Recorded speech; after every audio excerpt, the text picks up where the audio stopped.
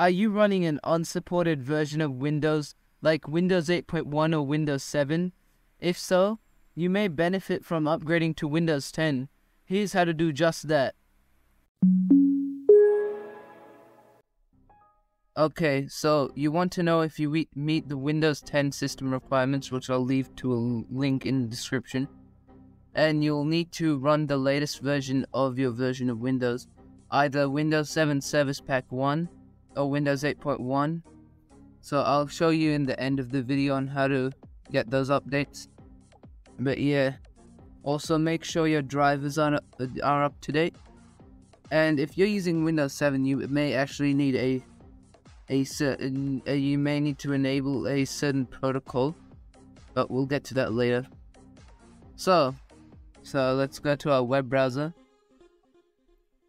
okay so now you, what you want to do is click download tool now and that's if you have um, the protocol enabled it's already enabled by default in windows 8.1 but uh you can also download an ISO file using the si- sidebar in Microsoft Edge.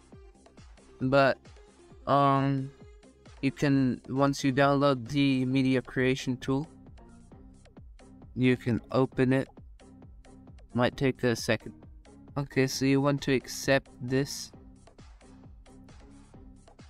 Now, if you're if you're using this PC and you're upgrading this PC to Windows 10, then select upgrade this PC now, and uh, select create installation media if you're doing it for your other computer and you want to get the ISO file and then do it for the other computer. But we're just gonna select upgrade this PC now.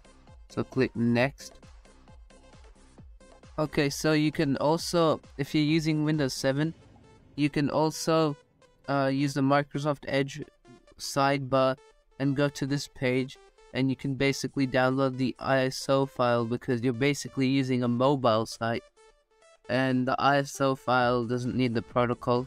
But if you still want to use the media creation tool, I'll leave a link to a, a video that's not my video on how to enable the protocol. But yeah, select Windows 10 Multi-Edition ISO. And then select your proper language. I'm going to choose English International, which is English United Kingdom. And then uh, you can choose whatever. I'm going to choose 32-bit for the performance of my computer. Okay, now you want to enter your product key. And you can also use a Windows 11 product key and it will work just fine.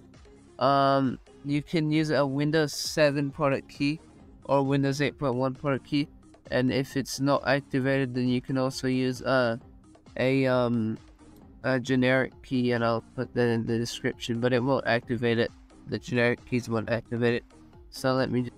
Okay, so now what you want to do is make sure you save all your documents, close your web browser, close all your apps, and uh, make sure that closed in the Metro way as well in Windows 8 and 8.1 and um, install Windows 10 and keep personal files and apps. Make sure it's selected as keep personal files and apps. Okay, so now make sure you've backed up everything and saved everything and all that sort of stuff. Now what you want to do is click install.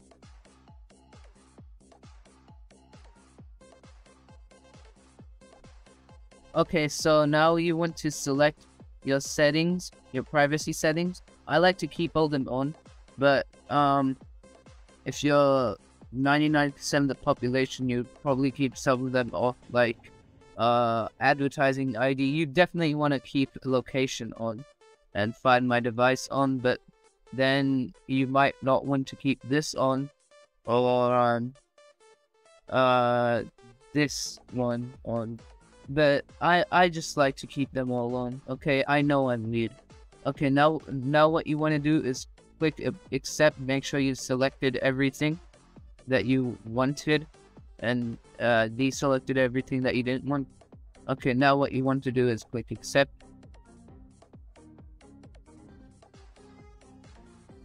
Okay, so now what you want to do now that you're in Windows 10, now now you should check for updates, restart, check for more updates, restart, uh, and uh, keep doing that until there's no updates available anymore.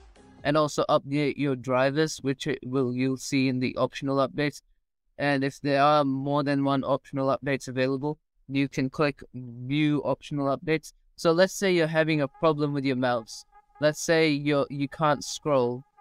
Well, what you can do is check for updates, see if the uh, look at the optional updates, see if there's a driver update available for your mouse, your media, your and all that sort of stuff. Now, uh, you also should go into the Microsoft Store and update all your apps, and um, you should also uh, update the Microsoft uh, Edge web browser and your other programs.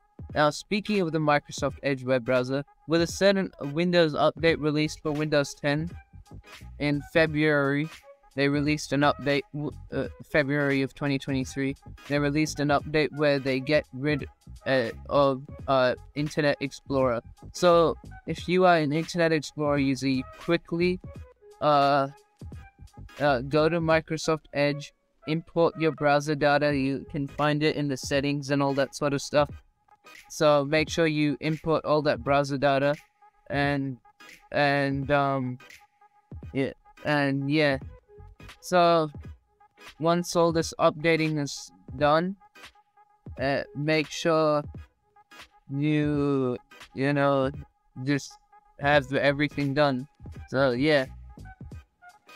Okay, so if you want to go back to Windows 7, oh, probably because of your, you know, your error obsession and your coping mechanism.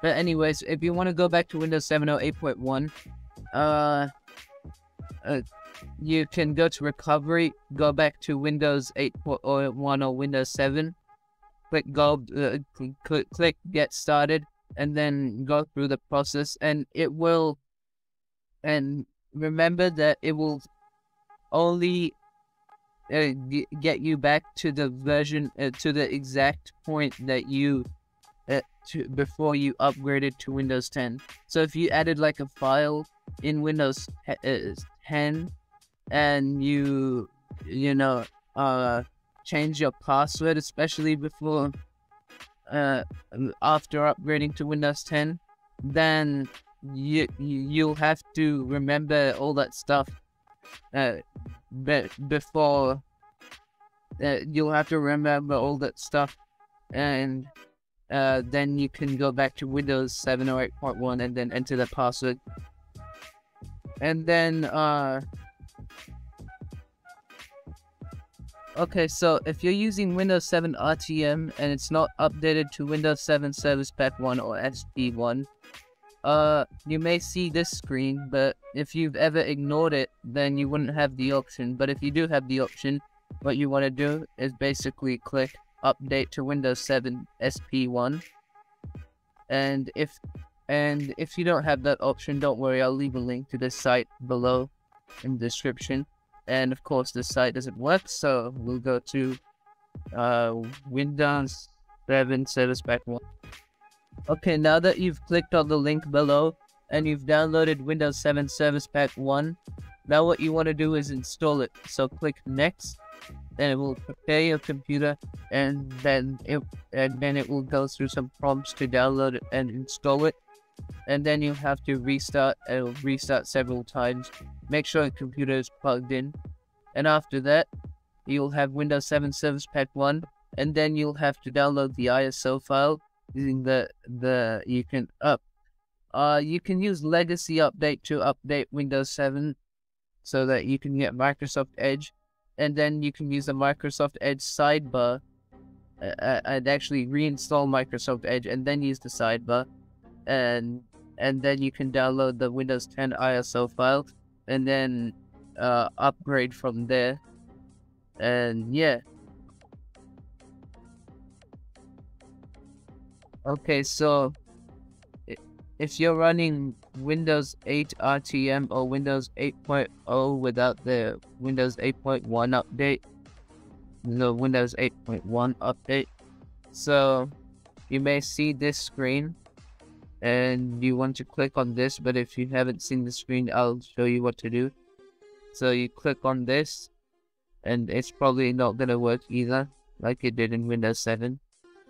Okay, so I seem to have a little problem, but um, basically you run the Windows 8.1 setup, and then it's basically the same steps as Windows, uh, as Windows 10, and then do that, and then update Windows, uh, and then install Microsoft Edge, and then uh use this this Microsoft Edge sidebar to to install to download the Windows 7 ISO file and then upgrade to Windows 10.